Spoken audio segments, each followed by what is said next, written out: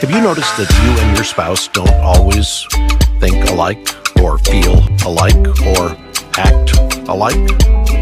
God's goal for marriage is oneness, not sameness. Hey guys, welcome to our channel. How are you doing? Thank you for stopping by. We appreciate you for your constant love and support. God bless you.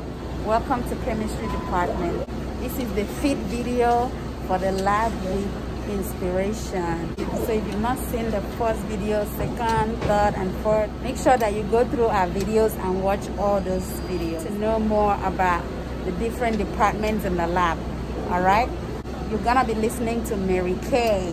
Mary Kay is my very good friend here in the lab. So today she's gonna teach you guys a lot of stuff about chemistry. All right? Stay tuned. My name is Mary Kay. I'm a medical technologist. I've been working in a laboratory for over 20 years. I love it.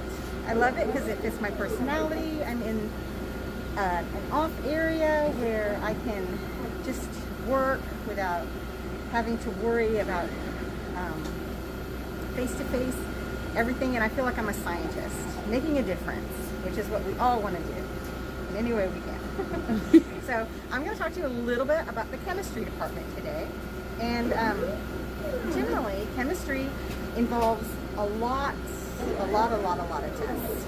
Um, most of the systems in our body rely on chemical reactions and everything in your body basically has some kind of chemical interaction with something else.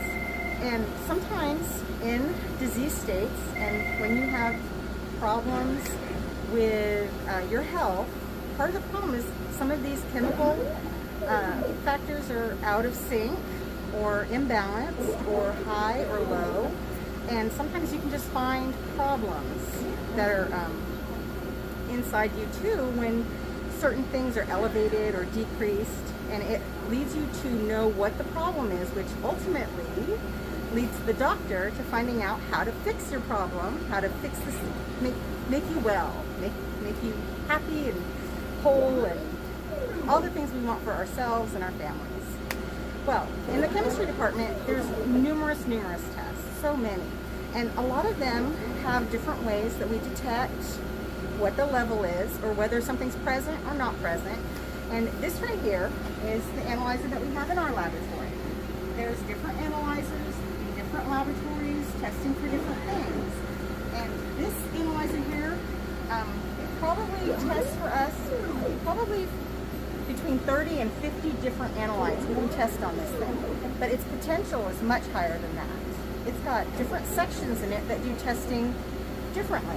It has um, one section that has certain kinds of reagents that it'll use to determine your electrolytes to find out if you uh, are low on sodium, if your potassium is low, or if your potassium is high. And these are things that you've heard about, like people take iron pills because their iron's low.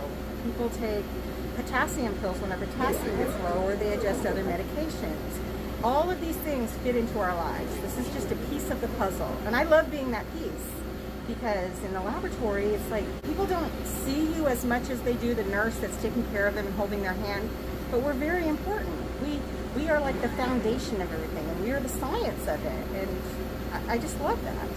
So along with um, all of the analytes this, this machine tests, we can test, as I said, your electrolytes.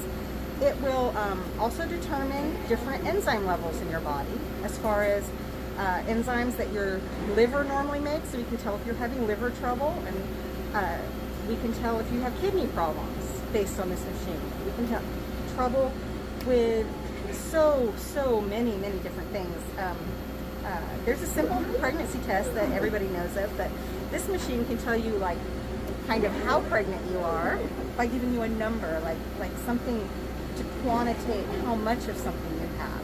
And it's really very, very fascinating. Now, when you go to school to be a medical technologist or a medical laboratory technician or MLS or CLS, there's many different names for the things that we do. Um, they teach you all of the science behind this. They teach you the basis for how we're determining all these things. And um, this is just one huge analyzer out of many, many that other labs have, other tests that we do. You can tell if a patient is most likely to deliver their baby within the next 24 hours. You can tell if they've had a rupture of the amniotic membrane by testing for different chemicals. It's completely fascinating um, and I think that if you have in your heart that you are a scientist and that you like like chemical interactions or the other departments, we have blood bank where you're taking care of people's blood needs. We have hematology where you're taking care of whether they're anemic or whether they're not and um, you can determine, you can find leukemias. That's the most fascinating thing is when somebody comes into the ER not feeling good and you find the answer. Find the answer and you give it to the doctor that immediately knows how they have to start taking care of you. I love those days. so, well, welcome to the lab.